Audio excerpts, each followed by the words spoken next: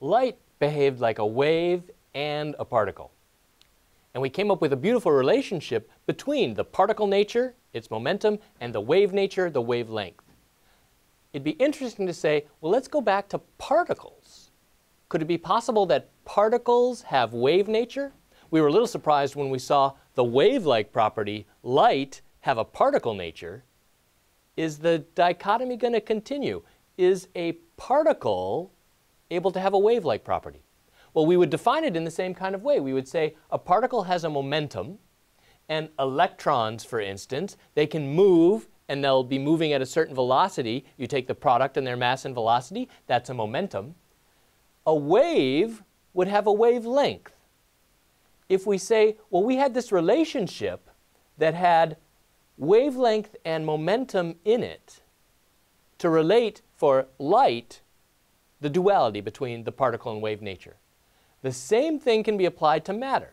And this is actually a very fascinating concept. How can a particle like an electron also behave like a wave?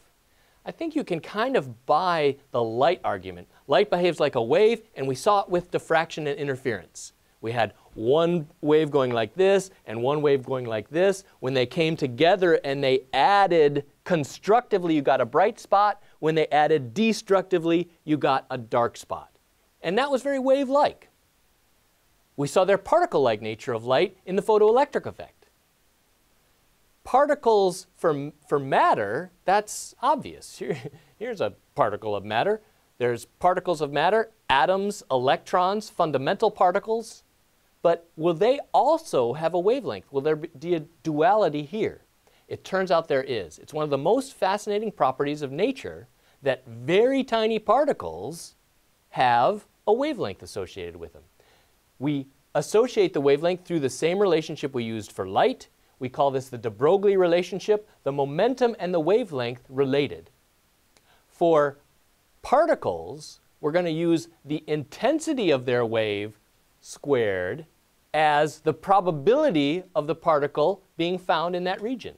We'll talk about squaring the wave function of matter to get the probability of whether that matter actually exists there. So waves and particles, two totally dissimilar things, but the particle and wave duality works for matter. So how can we prove it?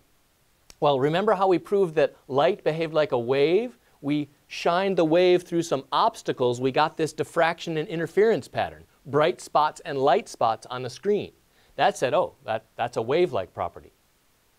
Matter, we understand as a particle already. Can we just demonstrate its wave-like nature? Well, it turns out you can. You can take electrons and you can shine electrons at little obstacles. In this case, you use the spacing between the layers in a crystal. You shine an electron at that, and that gives you diffraction and interference. And if you shine that on a screen, like you did with the, the light, you find that there's places on the screen that the electrons hit and you get bright spots, lots of electrons hitting in certain spots, and places on the screen where the light does not hit.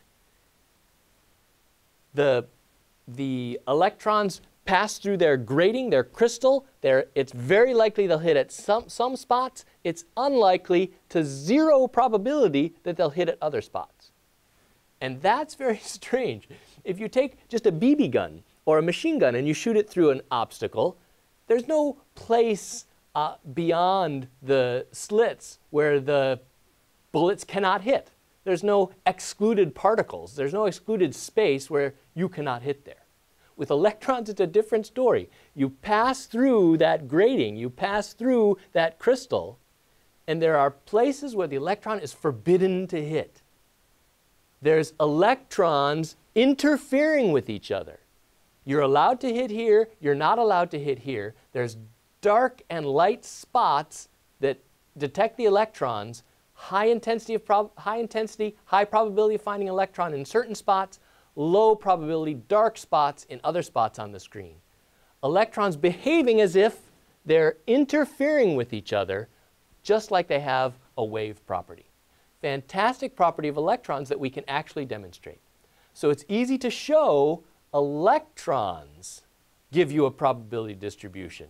You'll have electrons going through their crystal grating, likely very strongly to hit at some spots, unlikely to hit at other spots.